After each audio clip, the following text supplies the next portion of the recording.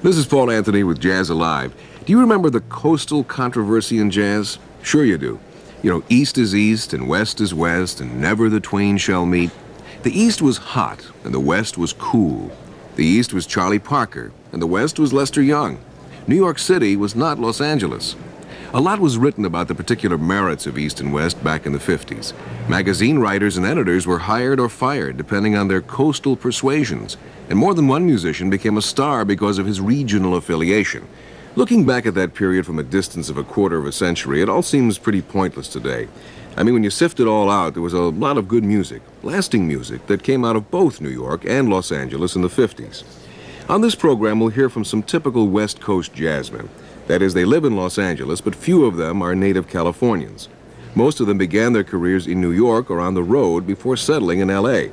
And typical of most cool West Coasters, these men admire most the hot, energetic music of Charlie Parker.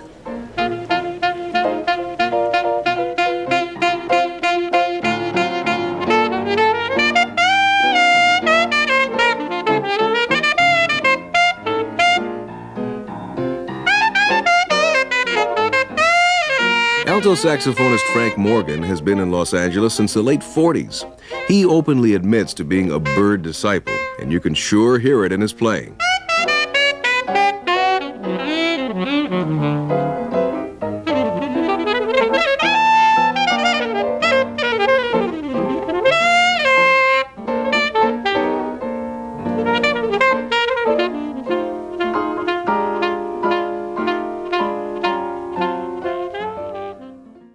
Jack Duganis' workshop in Santa Monica, California.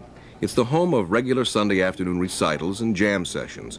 And two of the regulars are alto saxophonist Frank Morgan and pianist George Cables. Morgan was one of several Los Angeles based saxophonists who were hypnotized by the brilliance of Charlie Parker in the late 40s. Though not a native Angeleno, he's made the City of Angels his home since 1940. Some of you may remember a recording Morgan did with the Machito rhythm section for the Los Angeles based GNP Crescendo label in the 50s. Now that was some hot stuff. I'd sure like to get my hands on it today, I'll tell you. It's rare, though. Morgan's been out of the limelight for many years, but as you'll hear, that old fire is still burning hot. For this performance, he's joined by a gentleman everyone is talking about, not only in Los Angeles, but wherever contemporary jazz is happening pianist George Cables, whose associations are too numerous and luminous to mention here. Suffice it to say, he is a frequent choice of another LA personage, tenor saxophonist Dexter Gordon. Let's hear them play Frank Morgan and George Cables on stage at Jack Duganis' workshop in Santa Monica.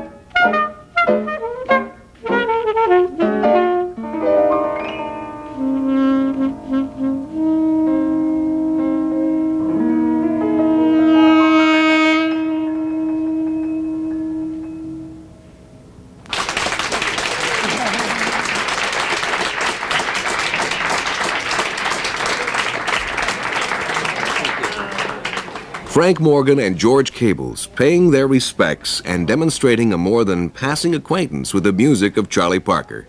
Birds scrapple from the apple. They'll be back shortly, but first let's join Frank backstage where he's talking with Will Thornbury. You came out here in 1947, if I remember, and there were a lot of really fine players in town. Oh, yes. I think about all the guys around who seemingly found endless number of places to play. I remember the proliferation of clubs that didn't advertise, uh, were not uh, widely known, and yet there was a ton of them along Central Avenue. There were all sorts of after-hours places. There was all sorts of activity. What was it like for a young alto player to uh, drop into this pool of uh, activity and talent? It was, um, was like a dream. It was it's like I walked into a fairyland or something. At that time, um, Dexter Gordon, Hampton Hawes, Teddy Edwards, Wardell Gray, they worked different clubs every night. And it was a session at these clubs. The downbeat one night, uh, um, the last word, you know, uh, uh, I mean, this during the regular, regular uh, nine to two hours. Um, I remember the California Club. The California yeah. Club. Well, yeah, that was a little later. Uh, yeah, in was. fact, I, I I got in on the California Club. Uh, um, in fact, I, I, remember working the California Club on Monday nights um, and standing in between Dexter and Wardell. And one night in particular, um, Gene Ammons came in, and I'm standing up there with, you know, Gene Ammons, Dexter Gordon, and Wardell Gray, and I'm just awestruck, you know. And uh, and I look up, and uh, here's another tenor player getting up on the bandstand with his back, you know, he kind of had his back to me. And I finally turns around, and it's James Moody.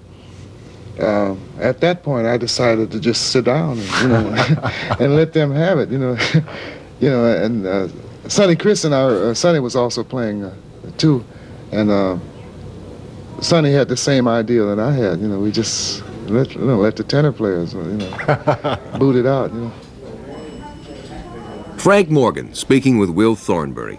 Well, even in jazz, discretion is sometimes the better part of valor. I wouldn't have thought anyone could scare Sonny Criss, or Frank Morgan for that matter. Frank's on his way back to the stage to rejoin George Cables, so we'll catch up with them right after this short pause for station identification. I'm Paul Anthony, and this is Jazz Alive on NPR, National Public Radio. From American University, 88.5 FM, WAMU, Washington.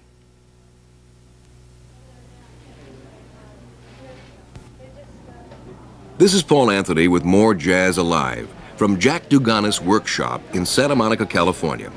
Let's go back to the stage to hear more from alto saxophonist Frank Morgan and pianist George Cables.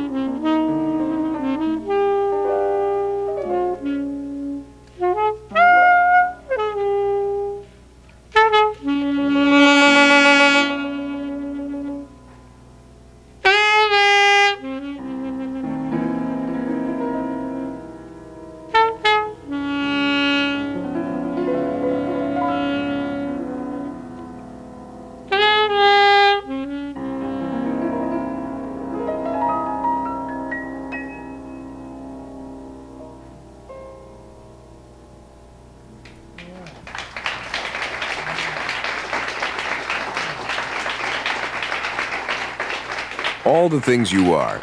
I would like to have a nickel for every time that song's been done. Jerome Kern's Evergreen, performed by alto saxophonist Frank Morgan, accompanied by pianist George Cables, two of LA's finest.